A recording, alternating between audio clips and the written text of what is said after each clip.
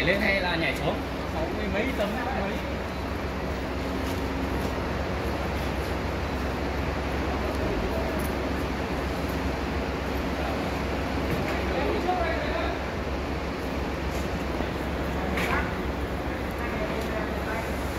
Cong đấy bạn này cong đấy.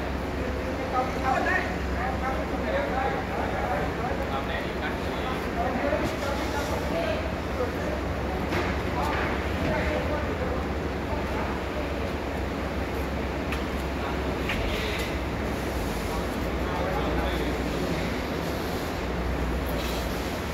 老妈。